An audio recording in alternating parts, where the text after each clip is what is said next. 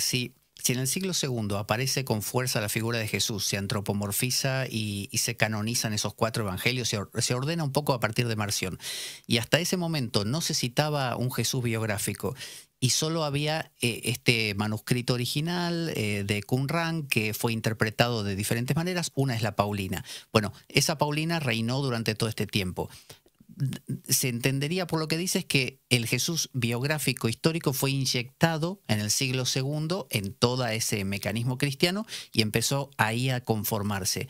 Pero ¿cómo subsistió todo ese tiempo? Simplemente por una oralidad muy, pero que muy débil, porque si nadie, nadie habla de él, ¿cómo podía estar?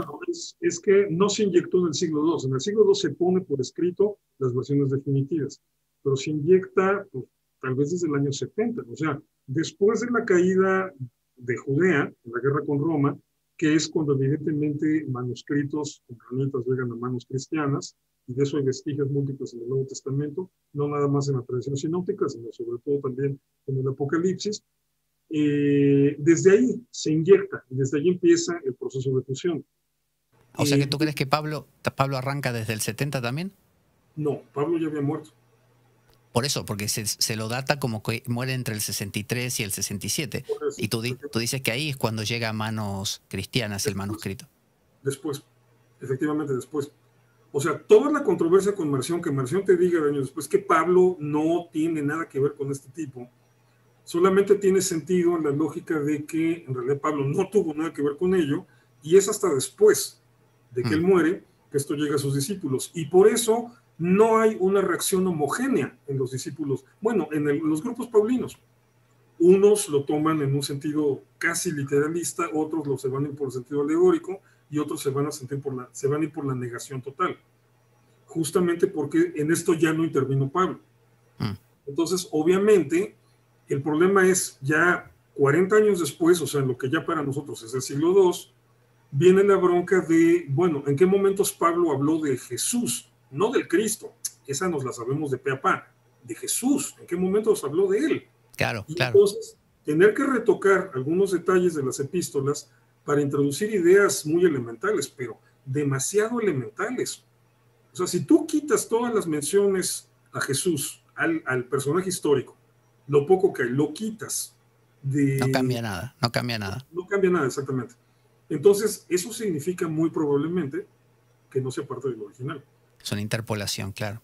Son interpolaciones, exacto. Entonces, la, la cuestión aquí es eh, que estas diferencias se gestan, digamos ya, resumiendo el problema sinóptico, primero está el documento, la versión original. Luego mm. están las traducciones al griego, la memorización y la difusión de esas versiones, pero oralmente, principalmente por medio oral, Sí, se empiezan a poner ahí algunas cosas por escrito, pero la difusión es oral.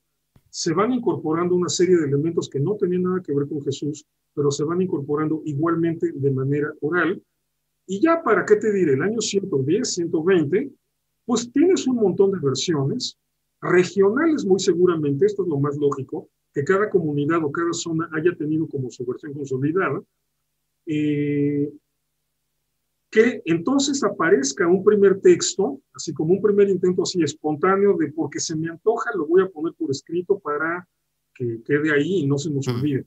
Mm. Y que no es un resultado muy depurado, y eso podría estar reflejado en el texto de Mateo. Pues luego va a aparecer Marción con su versión de Lucas y va a obligar a la iglesia a decir, a ver, hay que poner todo esto en orden. Entonces, es empezar a recopilar lo que hay escrito y es agarrarte a los que se saben la historia oral de cada región, decir, a ver, díctamela, yo la transcribo, y descubrir que hay un caos. Descubrir que hay un caos y entonces empezar a hacer un trabajo de edición. O sea, sobre todo porque aquí, y el papiro Egerton II, que lo mencioné hace rato, evidencia que ya se habían mezclado la narrativa que hoy llamamos sinóptica con la narrativa que hoy llamamos coánica. Y además hay un elemento más, que es el que tú siempre citas de, la proveniencia mm, del mito solar, eh, que, que, seguramente impregnaría la manera en que se elabora eh, la, biografía de Jesús. Seguro, seguro. Y esto, y esto no es un complot, hay que aclararle a la gente. Esto no es un complot, esto simple y sencillamente es la lógica de la gente antigua. O sea, hay que entender que la gente antigua no te escribía biografías pensando menos en este nivel cultural. Todavía Virgilio, cuando habla de la Eneida, y, mira que Virgilio mete un montón de elementos míticos en la Eneida. Mm, mm. Pero, o sea, Virgilio todavía intentaría ser un poquito más preciso con los datos sobre César Augusto, ¿no? Pero en este nivel más popular, aún de gente culta, escribas más o menos competentes, no, no, o sea, no existe esta lógica del rigor biográfico. Si te van a contar una historia de salvación, pues en la lógica, en el paradigma de la época, por lógica es una historia solar, o sea, el sol es el símbolo por excelencia de la salvación. ¿Por qué? Porque todas las noches se mete por el occidente y recorre el inframundo, el lugar de los muertos, y sale otra vez. Entonces, pues es lógico que te lo cuenten con rasgos solares. Aparte, aparte, está todo ese detalle. Pero entonces, eh, la crisis con Marción es la que obliga a estas comunidades cristianas a ponerle un orden. Y ese orden implica empezar a descartar lo que no va, sobre todo porque hay un intento, creo yo, así lo veo, hay un intento por reconstruir, evidentemente ya se habían perdido los originales, reconstruir dos documentos sobre Jesús. ¿Cuáles? Papillas los mencionó, el que había escrito Mateo y el que había escrito mm. Marcos.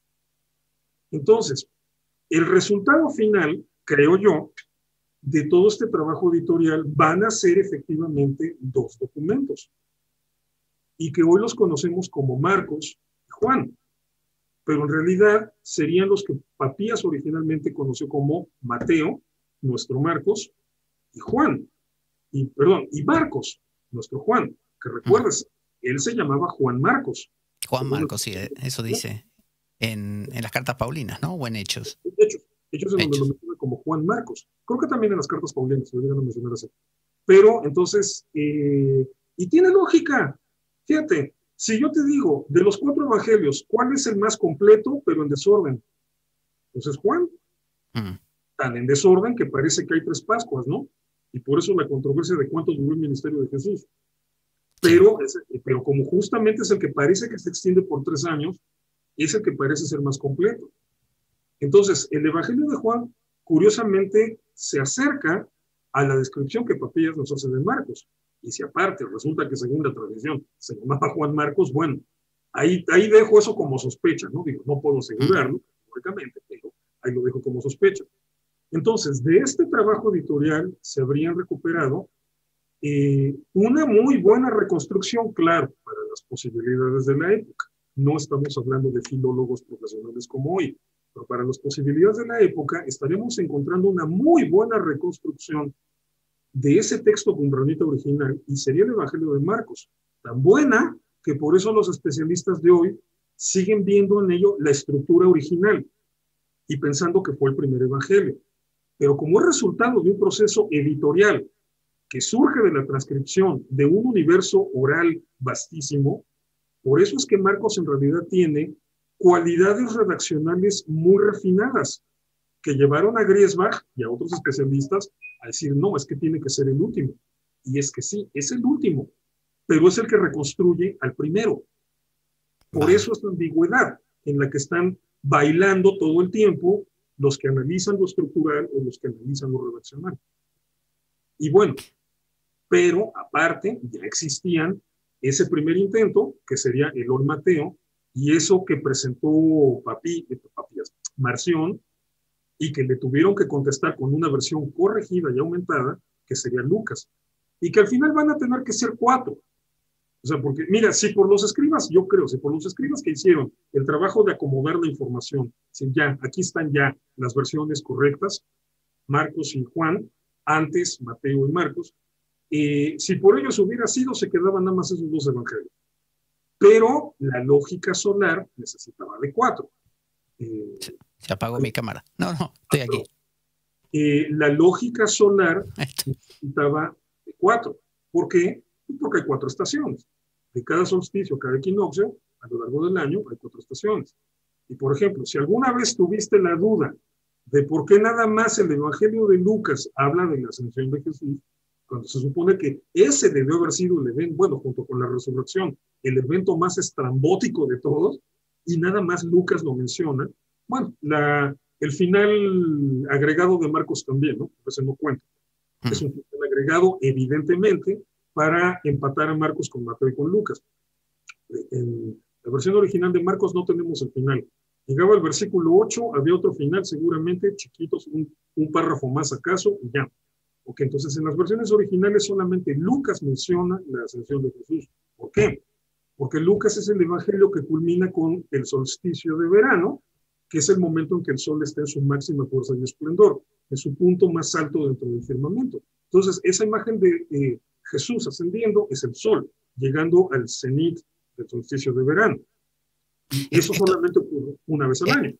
Esto los redactores, tú dices, lo tenían como casi como algo inconsciente, es decir, no, no era que voluntariamente decía, ah, vamos a hacerlo así, era como que estaba dado, dices tú, en la época. No, tanto como inconsciente, o sea, sí, hay, hay, una estructuración teológica muy buena, hermosa, digo, diría yo, pero eh, no, no tanto como inconsciente, pero sí es lo lógico, es lo natural.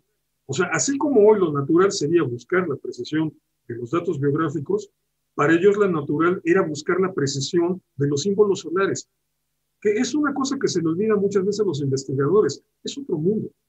algunos, algunos Irving también dicen que, esta, de esta idea de los cuatro evangelios canónicos se remite a Daniel y a sus Ezequiel, a, estas bestias que eran eh, toro, león, cabeza de león, toro, eh, águila y hombre, o hijo de hombre. A los querubín, efectivamente, ahí tengo mis dudas en el sentido de que en el judaísmo este tipo de cuestiones no tienen ese simbolismo solar, Creo que eh, evidentemente eh, se hizo una asociación muy lógica por la coincidencia del número 4. Y sí, efectivamente, o sea, cada uno va a entrar como símbolo de, cada uno de los querubín va a entrar como símbolo de cada uno de los evangelios, ya en la construcción cristiana. No, no, crees, no, crees, que en, entre, por ejemplo, el, la Torah eh, con Moisés, Moisés no es también un héroe solar, en el sentido, como diría Joseph Campbell, con todos estos pasajes intermedios del héroe, eh, pruebas que tiene que superar. O sea, nace, lo quieren matar apenas nacido, lo rescatan, no, es, no tiene los padres verdaderos, sino que es adoptado, eh, luego va buscando su camino. ¿No, ¿No, crees que también ahí hay?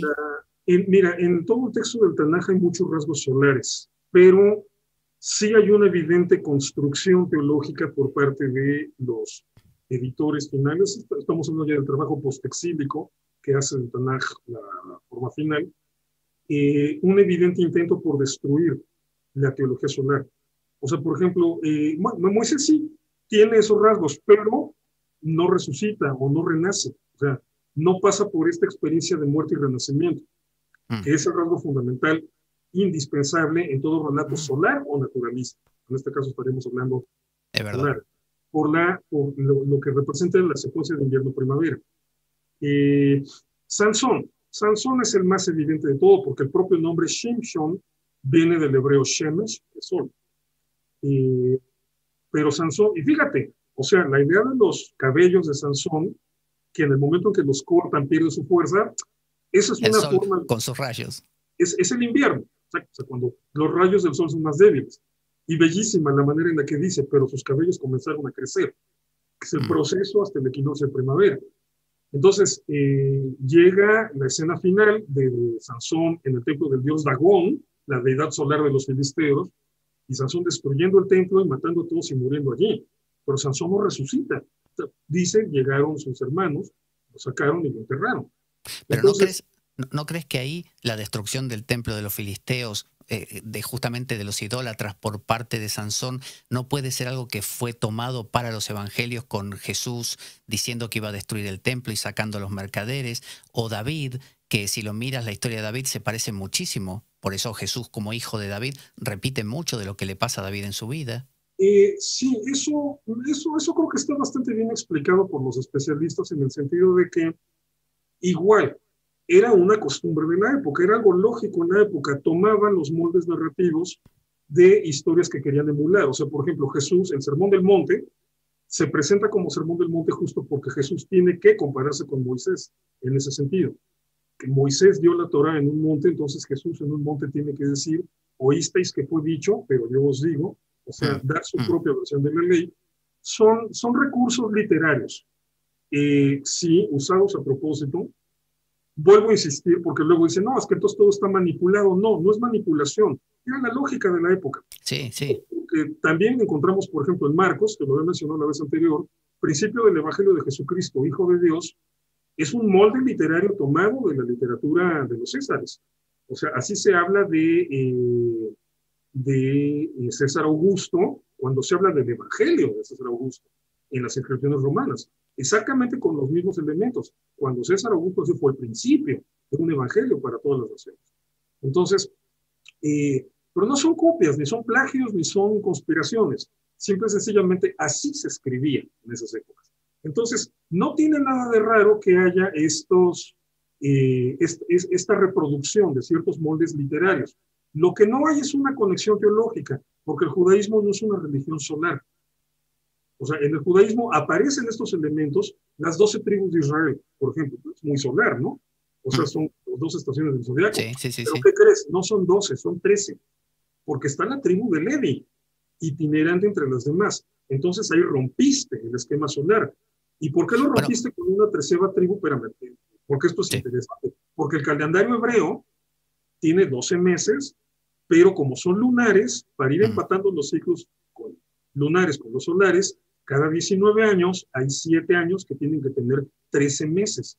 Entonces hay un mes itinerante y es lo que representa la tribu de Levi. Pero entonces ya no es un calendario solar, entonces ya no es una lógica solar. Fíjate cómo sigue siendo la misma lógica antigua, pero no es solar. Hmm. Estaba pensando cuando decías esto de las doce tribus con el tema de José. Eh, que José básicamente pareciera que muere y resucita porque lo venden, eh, es muy parecido al mito de Jesús también, lo venden los hermanos este, por unas monedas de plata, de hecho, em, lo, lo, encarcelan más adelante, eh, está como en esa catacumba, en ese lugar oscuro, de ahí renace de ese vientre de la ballena como Jonás y, se convierte en el más grande de todos y, reivindica a sus hermanos y genera como el nuevo reino simplemente eso, que veo un patrón que se repite, pero como tú dices, eh, no tiene que ver. Quizá por esto los judíos durante tanto tiempo se desentendieron de eso, como diciendo, no tiene nada que ver con nosotros, van por otra línea. Claro, o sea, sí, es, es muy evidente que uno de los objetivos del Tanaj es desterrar las ideas egipcias de la religión judía. O sea, ahí sí hay un, un evidente pleito con la religión solar egipcia. Y, y lo podemos por ejemplo, el cruce del Mar Rojo es otro manifiesto antisolar porque otra de las representaciones del dios Sol en Egipto es Sobek, el cocodrilo sagrado, y es una deidad solar. Entonces, el cruce del Mar Rojo es la derrota en el territorio de Sobek. También es un manifiesto antisolar. La muerte del primogénito. Por todo este relato de Ra, y al final de cuentas, como Horus viene siendo la reencarnación de Ra, y entonces toda esta tradición que establece que el sol viejo se reencarna en el sol nuevo, o sea, el padre en el hijo, si quieren entender la lógica de la Trinidad, nada más hay que estudiar las religiones solares desde ese momento, o sea, eh, tanto en Mesopotamia como en Egipto, toda esta lógica de cómo el sol eh, de invierno renace en el sol primaveral, o sea, es el mismo sol, pero es el padre y es el hijo, es el viejo y es el joven. Entonces, el relato de que te digan se murieron los primogénitos, sea, en realidad es un, hoy le diríamos un manifiesto antisolar. Aunque, aunque en las Trinidades antiguas solía haber, ¿no? Isis, solía estar la mujer, cosa que en el cristianismo no ocurrió hasta ahora, en 1960, donde eh, la, asunción de la Virgen se, se, aprobó y bueno, medio que entró. Algunos dicen de Trinidad pasó a cuaternidad ahora.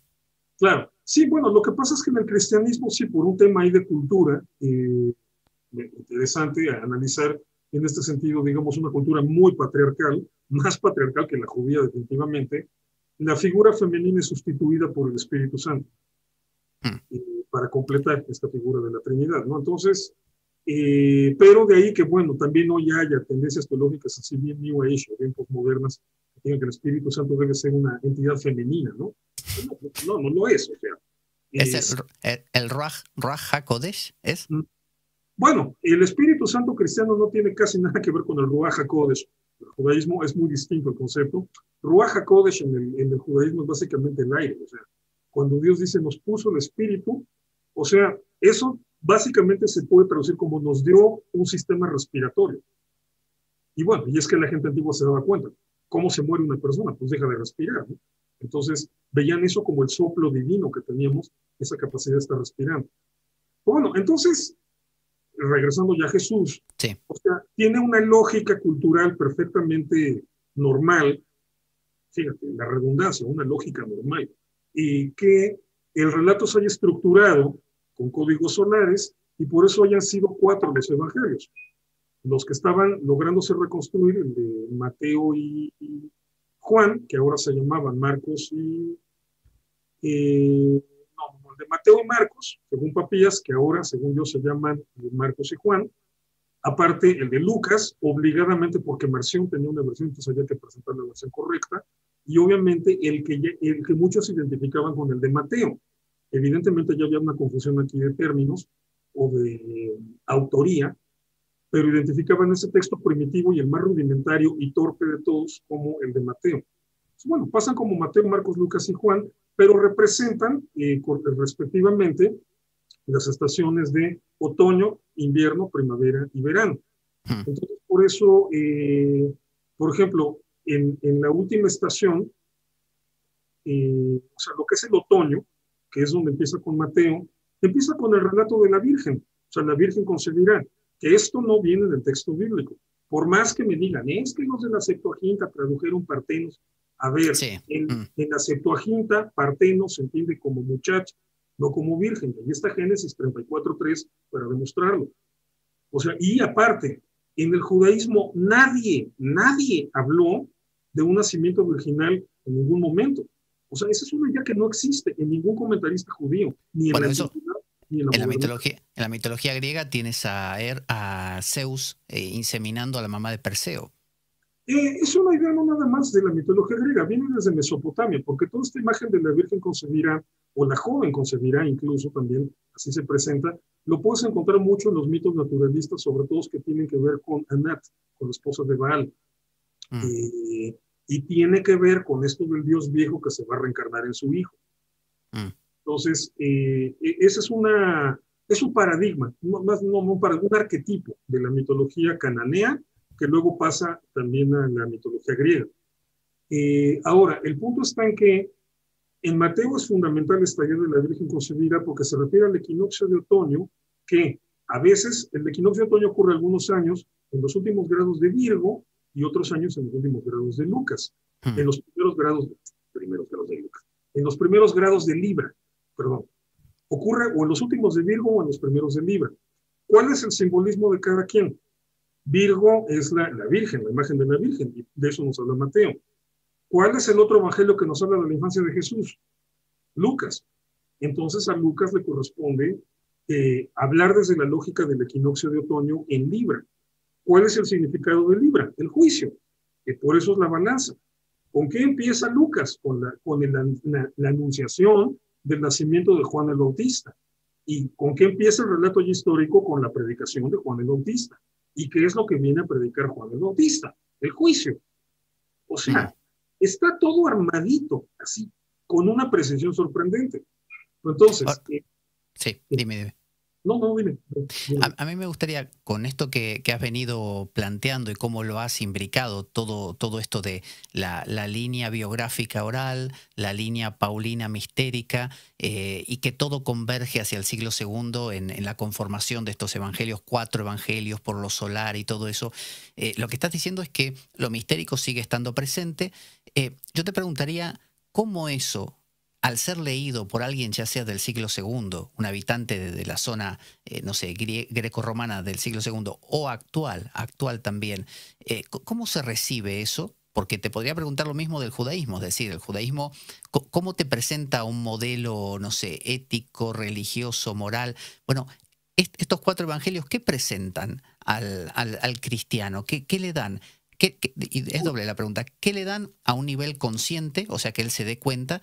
Y si le dan algo, aunque no se dé cuenta, porque todo esto que tú estás contando, yo creo que casi nadie eh, que va a una iglesia a la misa lo nota. O sea, la idea de que se levante una hostia y sea un símbolo solar, por ejemplo, yo creo que nadie lo, llega a notar, pero sin embargo lo es. ¿Funciona aunque no lo sepas? ¿Qué, qué, qué, qué efecto tiene esto? Mira, ahí, ahí, te lo voy a decir, y fíjate, te lo está diciendo un judío. O sea, yo soy cristiano, yo no creo en esto, pero soy judío, pero es uno de los aspectos en los que me parece hermosísimo, hermosísimo lo que implica. Las antiguas religiones mistéricas fueron las que pusieron este énfasis en la cuestión de la salvación. Y el dilema, o sea, como estaban basadas en los mitos solares o naturalistas, eh, por ejemplo, porque el mito de Atis y Vélez es básicamente naturalista, tiene que ver con la vegetación, por eso Atis renace como pino siempre verde. Hmm. Mientras que mitos como el de Dioniso serán solares, o el de Jesús. Eh, el dilema en estos mitos es cómo funciona esto de morir y renacer. Porque tiene que ver con eh, cómo, cómo funciona que yo alguna vez tenga que morir y cómo voy a renacer, o sea, cómo puedo garantizar el renacimiento. Pues bueno, por eso el sol se convierte en el símbolo por excelencia de todo esto. Ahora, cada tradición mistérica va a desarrollar su propia teología y su propio planteamiento, ¿no? O cada tradición solar, porque por ejemplo, de Hércules he estado investiga y investiga y no tengo información de que haya existido un culto mistérico basado en Hércules. Hmm. Pero es una religión solar. Hércules es un héroe solar, totalmente. Pues son 12 trabajos, son los 12 meses, eh, por ejemplo, ¿no? Hmm. Eh, y en Hércules el significado eh, esotérico, vamos a llamarle así, de su religión es muy claro. O sea, Hércules es el héroe que le trae el orden olímpico al mundo. ¿Por qué? Porque derrota a los monstruos ctónicos, que les llaman, o telúricos, o sea, los, a los demonios del inframundo. A los titanes. Mm. Sí, y que es una forma de decir que eh, tienes que derrotar a tus monstruos internos. Porque ese es el inframundo. El verdadero inframundo es ese, el que tienes en lo profundo de tu corazón y que no ves. Esos son los demonios que tienes que derrotar. ¿Cómo se derrotan? La religión hercúlea te va a decir con la disciplina física, con el mensana incorpore sano. Y por eso el evento por excelencia de la religión hercúlea son las Olimpiadas. O sea, que es en donde compiten aquellos que están completamente consagrados al control, a la disciplina, al control de sus pasiones internas. metáfora que usa Pablo, la de la carrera. Mm. Metáfora que la aprovecha, la aprovecha muy bien. Bueno, entonces ese es evidentemente el énfasis de la religión hercúlea, ¿no? La, la disciplina del cuerpo y del alma y de la mente para derrotar, o sea, el hombre virtuoso, esa es la imagen de la virtud, ¿no? Como, o sea, no, no nada más como portarte bien, sino como haber derrotado tus vicios. Eh, la religión dionisíaca se ve por el otro lado completamente, ¿no? O sea, la salvación es, viene, está vinculada con la locura y, con, con, lo, con lo sensual. Entonces, sí, pero, pero ahí tienes, tienes eh, la religión dionisíaca de las planicies, digamos, de los valles, las de las mujeres que estaban en, los bosques, y, las de Orfeo, que tenían que ver con las montañas, que por eso el rey Penteo estaba enemistado con lo dionisíaco. Había como dos facetas de lo dionisíaco, uno bien mistérico profundo y otra de hagamos un desmadre. Bueno, claro, lo que pasa es que originalmente parece todo un ser que viene, la, la versión original es la femenina, pero se empieza, la religión dionisíaca se convierte como digamos en la religión de los excluidos. Llega a tener una, una trascendencia política muy interesante porque es una religión en la que van a encontrar reflejados sus intereses los grupos marginados, empezando por las mujeres, pero después también por otros sectores sociales marginados. Y entonces es donde ya va a empezar también la participación de lo masculino, pero también donde van a entrar las fricciones políticas y bueno, de ahí viene toda esta narrativa que tiene obviamente mucho legendario de los pleitos entre Dioniso y Penteo. Mm. Pero, eh, eh, pero fíjate cómo es otra, otra manera de decirte, nada, nada, nada, eso de estar haciendo ejercicio en el gimnasio, ¿qué? O sea, no, no es por ahí. Lo que el sol significa es esta otra cosa. Ahora, ¿por qué era tan importante descifrar esta cuestión del sol? Y aquí el asunto sí es completamente platónico. O sea, esta ya platónica de que lo material es una sombra de, eh, de, lo que sucede en la realidad, que es el mundo de las formas, el mundo de las ideas.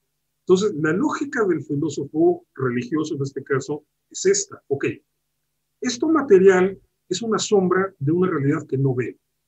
El sol y su viaje por el inframundo es una sombra de qué? Y toda esta cuestión teológica que va a plantear cada tradición mistérica tiene como objetivo convencerte, digo, porque al final de cuentas son las primeras religiones proselitistas, tiene como objetivo convencerte de que esta es la realidad en el mundo, en el mundo espiritual, ya el que fuera muy platónico, bien instruido, te diría, en el mundo de las ideas, que se proyecta en, nuestra, en esta sombra que es el mundo material, o mundo sensible, como el sol, y su viaje por el inframundo, y su muerte y renacimiento en el invierno y en la primavera. Mm. Entonces, Hércules, en los Herculeos te hablarían de eso, ¿no? De la salvación por medio de la disciplina mental, física, gimnasio. Los dionisíacos te dirían, bah, o sea, nada que ver, no, vente aquí, se pone re bien el asunto, nada que ver con, con esas exageraciones. Entonces, bueno, eh, eh, Mitra, por ejemplo, no tenemos mucha información de todos los contenidos teológicos de la religión mitraica y mistérica, ¿no? O sea, no del Mitra vestano ni el Mitra rivédico, que son las versiones en hindú, y persa, o persa hindú más bien, respectivamente. Mitra y Varuna. Sí, ya cuando entra en el mundo helenístico, que se convierte en el Mitra tauróctono, que el mito es evidentemente más antiguo, pero ya la connotación mistérica es en el mundo helenístico, ¿no? No nos, bueno, sobrevivieron los, eh, los, los, mitreos, conocemos la iconografía, conocemos la, base de la leyenda, pero no conocemos mucho más de cómo estaba estructurado, pero tiene algo que ver evidentemente con el orden militar, con la disciplina militar, porque en los principales ambientes en donde se difundió el mitraísmo y por eso llegó a todo el imperio romano fue entre las tropas del imperio romano. Entonces, eh, cada religión propuso esto que el sol hace en este mundo que es, que es falso, que no es la realidad, es una sombra de cada religión mistérica pone su idea. Y con mucho, y en este sentido es donde no, no creo que el cristianismo tuviera tanto problema ya a la hora de darse a entender eh, para conseguir adeptos, aunque no tuviera una historia muy bien estructurada de su héroe personal, pero la, alternativa teológica que propone el cristianismo es hermosísima, porque dice, no, no es el gimnasio, menos las bacanales, ni la disciplina militar. Todo esto es una sombra de lo que realmente nos salva, y lo que realmente nos salva es el amor. Mm. Y ese es un mensaje presente, o sea, con todas las cosas raras que desde la óptica del siglo XXI podrías ver en el Nuevo Testamento, es el mensaje presente en todo momento. Pero eso sigue, siendo, sigue siendo un amor platónico. Ah, pues, por la lógica de la época sí, pero el amor tiene una ventaja, va mucho más allá de Platón. Entonces, mm. eh, eh, para el cristiano de hoy, o sea, le puede encontrar un perfecto sentido, sin necesidad de pensar en que el sol es una sombra de, ok, esas eran formas antiguas de ver las cosas. O sea, por ejemplo, Pablo, cuando escribe en 1 Corintios 13, esto que le llaman el himno del amor, el himno del amor no está hablando en términos platónicos del sol y sus sombras, ¿no? Está con eso. Está, está abordando el tema desde una óptica completamente humana, o sea, perfectamente adaptable a la realidad. Y lo que dice, bueno, y fíjate, porque fíjate cómo incluso en ese discurso Pablo mismo está trascendiendo, eh, digamos, el protocolo mistérico, porque dice, y si yo conociera todos los misterios mm, mm. y no tengo amor, no me sirve de nada. Y bueno, viene toda esa famosa secuencia, ¿no? De el amor es, eh, como, no, no, me acuerdo cuál empieza, el amor es perfecto, el amor todo lo da, el amor todo lo soporta, todo lo, todo lo cree, todo lo soporta, el amor nunca deja de ser cuando termina, es una de las cosas más hermosísimas del Nuevo Testamento. Es verdad, es verdad. Dentro de los evangelios, el que es el evangelio mistérico, o sea, el, el primer texto, el de Cumbrán, se escribe sin ningún vínculo con esto, y por eso se escribe, creo yo, el que Patías va a identificar como Marcos, el que nosotros tenemos como Juan, que es, digamos, la corrección en el sentido de, a ver, la versión mistérica ya como tal es esta, ¿no? Y es lo que tenemos en Juan. Y Juan es un evangelio que le va a dedicar una muy buena cantidad de, de, de su contenido a este concepto del amor, sobre todo en este último discurso de Jesús, cuando se está despidiendo que es muy interesante esta idea, ¿no? De que todo, Juan, Jesús todo el tiempo se está despidiendo. El final es profundamente melancólico. O sea, en vez de ser una imagen del Jesús triunfante, resucitado, mm. no, son unas escenas bien, bien, digamos, bien oscuras en el sentido emocional. Esta escena de Jesús parado en la playa, viendo cómo están intentando pescar cuatro de los apóstoles, eh, pero bueno, o sea, es un Jesús siempre despidiéndose, porque es una imagen del sol que ya pasó el verano y que ya va de retirada otra vez hacia el otoño. llega, pasado el equinoccio de otoño, las noches van a ser más largas que los días. O sea, es el sol en retirada. Por eso este talante, eh, digamos, de despedida y tan melancólico que tiene el Evangelio de Juan. Hay una frase maravillosa que dice eh, Tomás, cuando, cuando van a resucitar a, a Lázaro, de las pocas participaciones que tiene Tomás, o sea que es un personaje así muy, muy marginal, pero cuando Jesús dice, no, es que Lázaro murió, entonces Tomás le dice, vamos a que muramos con él. O sea, eh, evidentemente están hablando ya del proceso de decrepitud del sol en el ciclo anual, y quién lo dice, Tomás. ¿Cuál es el nombre completo de Tomás? ¿Cómo le llaman en el propio Evangelio? Tomás el Dídimo, que significa... Gemelo, gemelo. gemelo Géminis que es la estación solar con la que empieza el proceso de ocaso del Sol. O sea, te digo, todo está, es, es, es, una genialidad. Y sobre todo, lo más hermoso de esta genialidad, insisto, es, por ejemplo, ya este Jesús despidiéndose en su último discurso eh, en el Evangelio de Juan, capítulos 13 al 17, toda esta parte cuando empieza a decir, eh, no hay mayor amor que este, que dar la vida por los amigos, cuando dice, un nuevo mandamiento les doy, que os améis, como yo los he amado. O sea, poner siempre en el centro de todo lo que dice la cuestión del amor, digo, es donde yo creo, o sea, si es el cristiano, es donde yo creo que, entendiendo la lógica de la época, eh, era un mensaje revolucionario. Ya yo Creo que...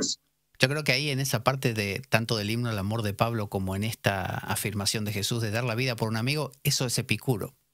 Sí, eh, tiene, tiene mucho de Epicuro, claro, seguro que sí. Sí, o sea, esa es la parte interesante, ¿no? Que de repente es un cínico, de repente es epicúreo, epicureísta. Eh, o sea, es un, es un pastiche de filosofía que, a mi modo de ver, lo que refleja es que no son autores muy duchos en filosofía. Entonces, no me parece una filosofía ecléctica muy bien armada, porque si no, eso se vería reflejado en todos lados. Más bien, de repente parece un poco de pastiche, pero lo están llevando bajo una lógica de simbolismos solares y eso le da coherencia, le da mucha coherencia a todo el discurso. Eh, es una teología solar muy bien armada. La del Apocalipsis, luego otro día platicamos del Apocalipsis. Claro que sí. La el replanteamiento teológico de la apocalíptica judía, cómo se transforma en el Apocalipsis, es otra genialidad. Y digo, lo que a mí me parece bellísimo y de una validez eh, humana, universal, pero que en este sentido es al cristianismo el que le toca disfrutarla y aprovecharla, es esta idea de que al final de cuentas, ¿qué es lo que te salva? Ok, el sol es un símbolo porque es una sombra, porque eh, no, no es la última realidad. ¿Qué es lo que realmente salva? El amor. De eso se trata. Claro, lo escribieron como lo iba a escribir gente de hace dos mil años.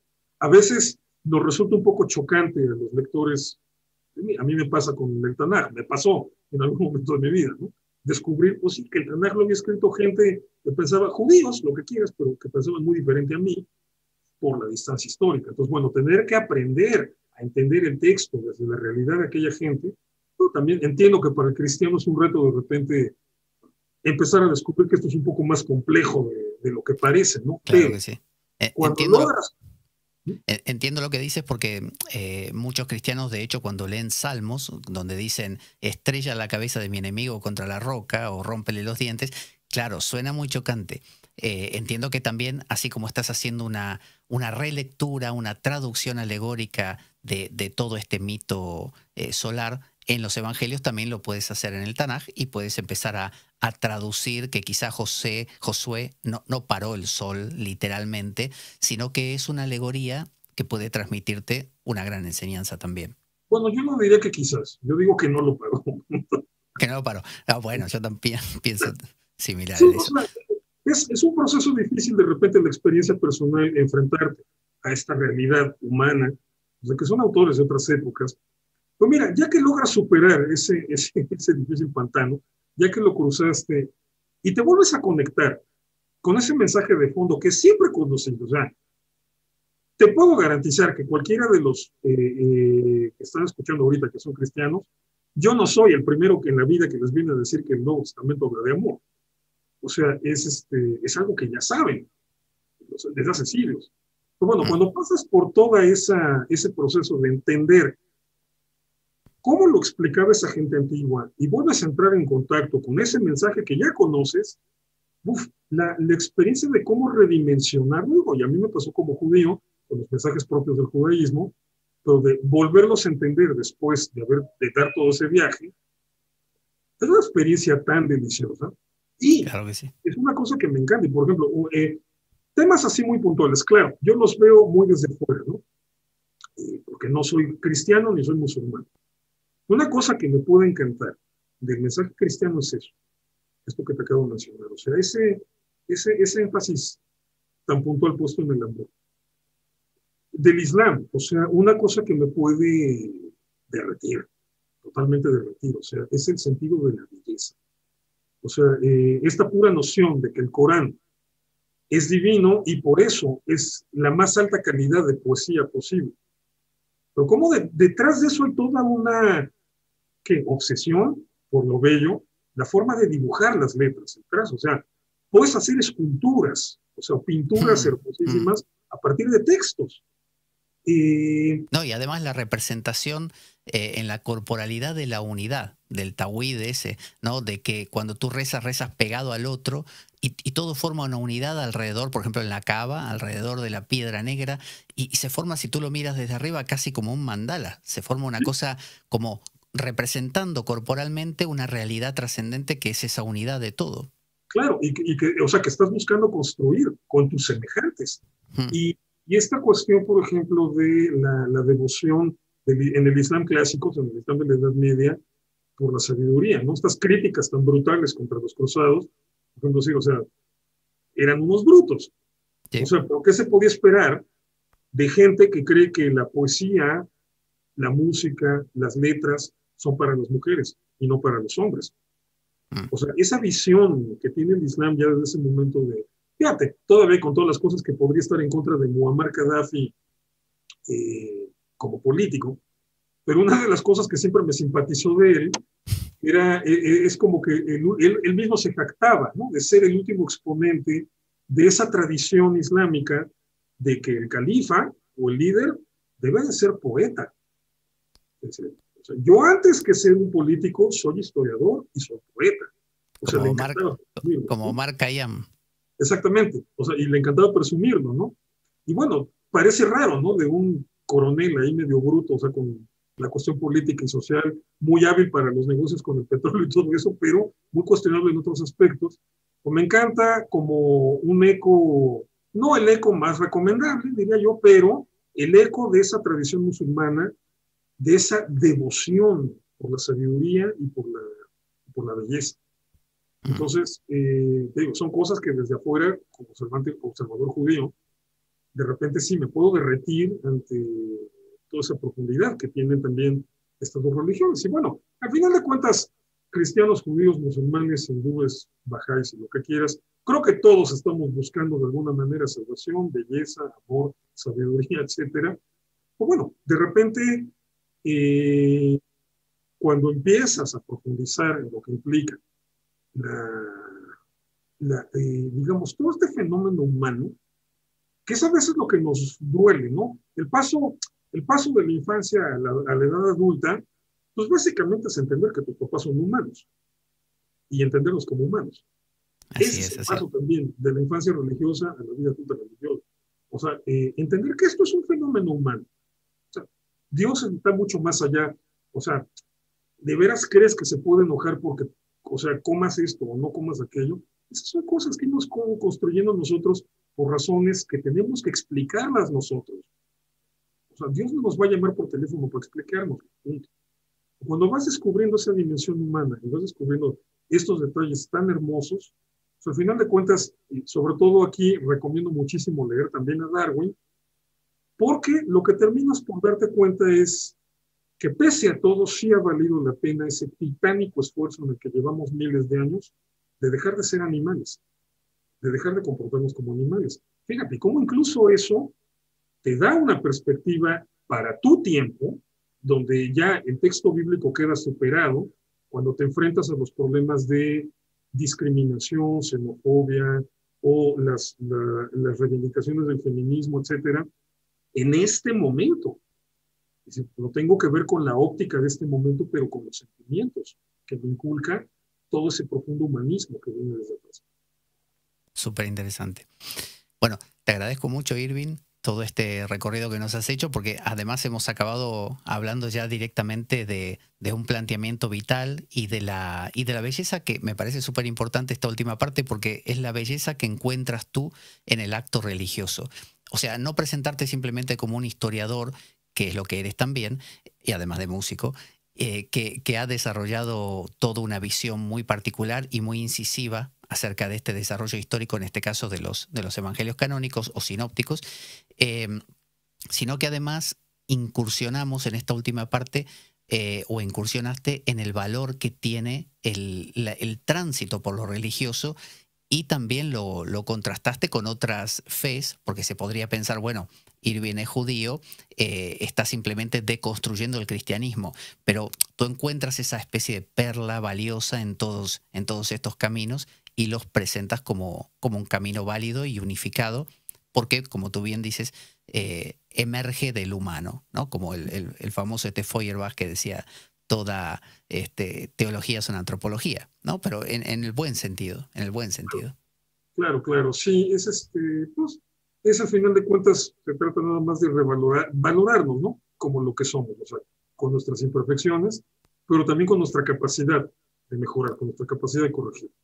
Ahí me recordaste una, una plática que tuve alguna vez con un católico que me, preguntó, o sea, es que tú como judío, ¿cómo ves a la Virgen María? Uno, evidentemente, lo voy a ver de una manera muy diferente a ti, ¿no? Digo, pero ya atendiéndome al símbolo, le digo, o sea, lo que yo desde, desde, como estoy acostumbrado a leer los textos judíos y veo el relato de la Virgen María concibiendo a Jesús, y luego veo que en el Nuevo Testamento Pablo compara la iglesia a una novia, a una esposa. Le digo, pues digo, a mí el símbolo que me llamaría la atención sería pensar en la Virgen María como, o sea, la iglesia como, la Virgen María como una representación de la iglesia y la obligación que tienen ustedes como comunidad de engendrar y dar a luz a Jesús como símbolo del amor. Mm. Y me dijo, oye, qué interesante visión, o sea, nunca, nunca se me ha ocurrido. No, no sé, o sea, estoy improvisando, honestamente, porque tampoco le he dedicado eh, muchas horas al tema. Pero sí, creo que definitivamente todas las religiones tienen esta, esta posibilidad siempre perfectible, pero siempre ascendente, por lo mismo, el humano. Y ojalá llegue el momento en que el mundo esté lleno de buenos cristianos, buenos judíos y buenos musulmanes y buenos de todos. O sea, va a ser un poco diferente. Como se, dice, como se dice que alguna vez convivieron aquí en España, ¿no es cierto? En el famoso Al-Ándalus. Sí, bueno, es, tengo mis dudas al respecto, o sea, no es tan romántico. pero sí, hay momentos en los que sí se logra. Eh, digo, no son etapas muy largas, pero sí hay momentos en que se logra una consistencia deliciosa. Y, o sea, y por ejemplo, en muchos sentidos, más allá de las noticias que de repente puedes ver, si tú te echas un tour a Israel y ves cómo son muchas dinámicas entre cristianos, judíos y musulmanes, maravillosas. O sea, el nivel de coexistencia que ya se ha desarrollado, por ejemplo, esto que termina el Ramadán y salen los musulmanes de su mezquita, y están ahí toda la bola de judíos ultraortodoxos de sombrero, bucles y barbotas, con la cena preparada para que rompan el ayuno.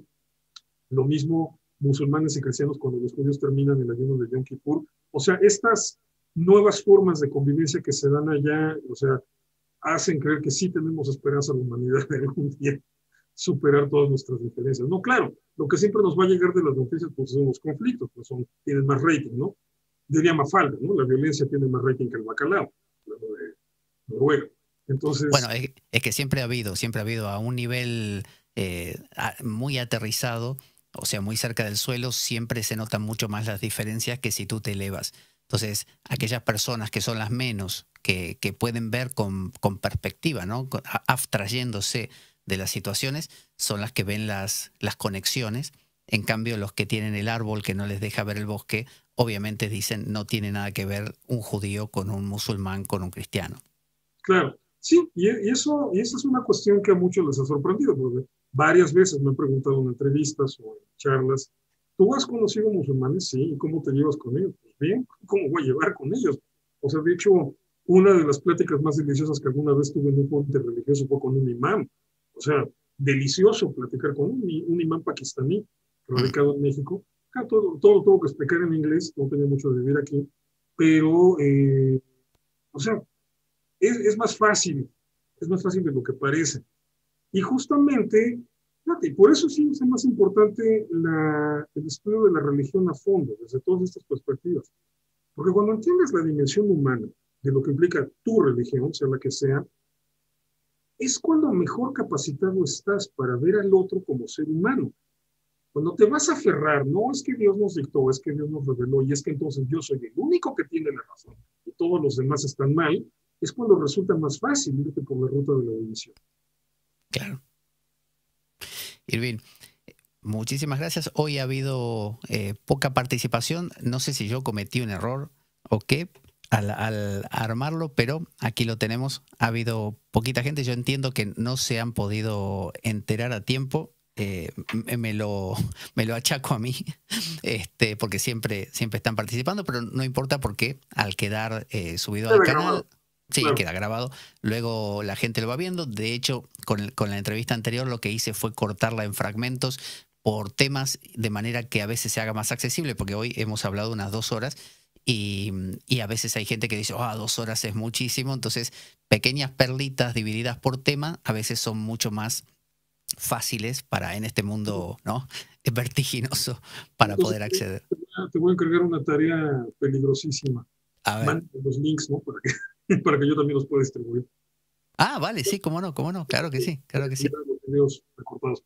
Vale, te había enviado la, la completa, pero bueno, estas últimas, Sí, sí, las corté hace poquito, así que haré lo mismo con esta, porque realmente es muy interesante todo, todo lo que vas diciendo, eh, pero a la vez es muy condensado. Entonces, eh, tomar pequeños, eh, como cada ocho horas, como si fuera unas pastillas, creo que, es lo ideal. Para...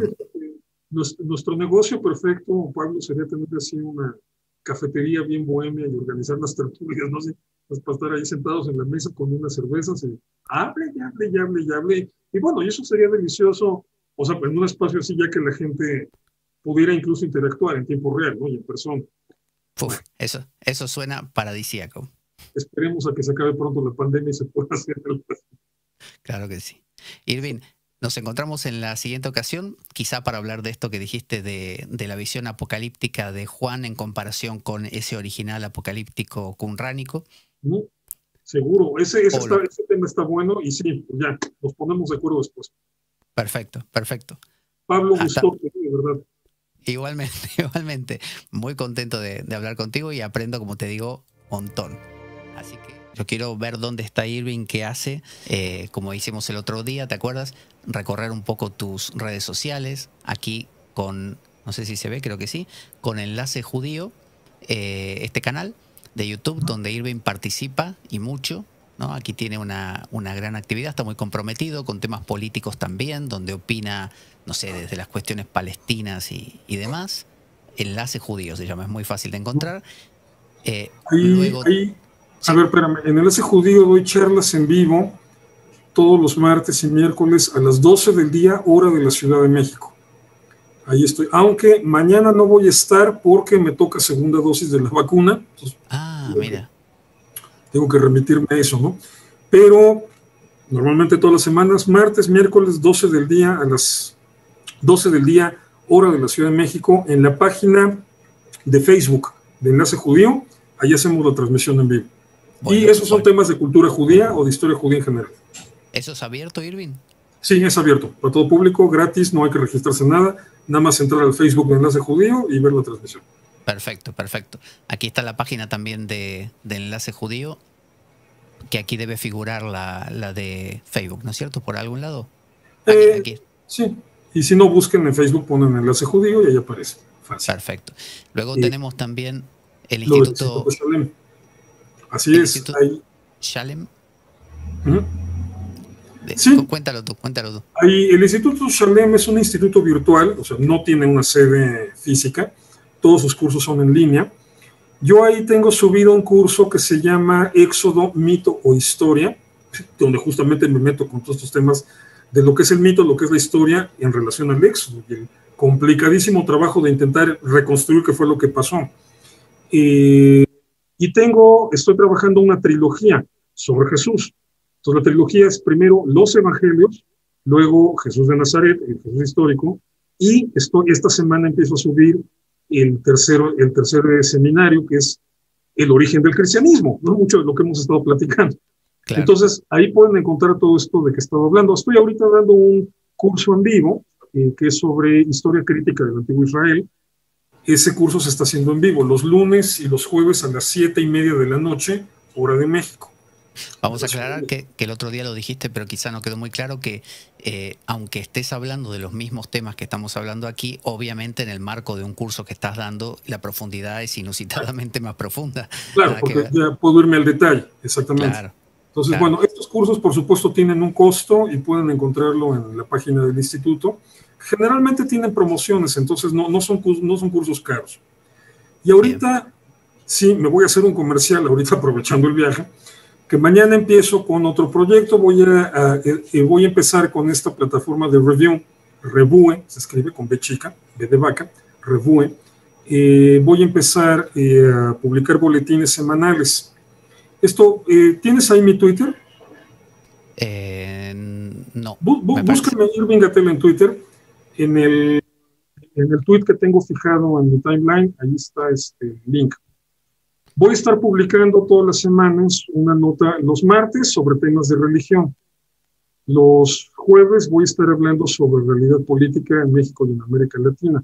Los viernes sobre filosofía y los domingos sobre cultura en general, sobre todo música, que es lo que más me, me gusta, ¿no? Ahí está mi Twitter, efectivamente, mi tweet fijado, ahí, ahí está mencionado. Esto, por supuesto, también tiene un costo, es de 3 dólares al mes, o sea, es un costo económico realmente. Sí, sí. Y, este, y ahí, si se suscriben, ahí van a estar recibiendo en su email cada martes, jueves, viernes y domingo las, los boletines que voy a estar publicando. Perfecto, perfecto. Como no manejo mucho Twitter, por eso estaba perdido, pero bueno, aquí está. En el Twitter de, En, mi Twitter, Irving Gate, nada más busquen el primer tweet, es un tweet fijado y ahí está el link en donde se pueden suscribir. Perfecto. Ahí lo tenemos. Este es el Twitter de Irving y aquí en el primero, el que está fijado, aparece. Em, luego tenemos, a ver, por aquí, bueno, este es el canal de Irving. Canal, pero no lo he movido últimamente, tengo, tengo muy poco que he subido ahí, casi no uso. YouTube todavía no se me da. aquí tenemos en, Instagram para ver fotos del gato de Irving. Algunos TikTok donde desarrolla temas. Sí, muy buenos. Los TikToks son temas muy coyunturales de México en este proceso electoral que te acabamos de pasar, así que eso, bueno, tal vez ahorita ya no les genere tanto interés. También no me termino de acostumbrar al TikTok, tengo que empezar a intentar otras cosas. No sé si bailar o hacer algo por eso. es raro TikTok, sí, a mí también me han recomendado hacer algo, pero no, un minuto para mí es una locura. Sí, eh, nos encantan estos charlas de dos horas. ¿no? Claro. Bueno, aquí tenemos el Instituto Yalem y recuerden esto de eh, lo nuevo de Irving que por un precio pero es irrisorio, 3 dólares al mes, eh, se pueden asistir a estas, a estas nuevas eh, presentaciones que va a ir estar, estar haciendo.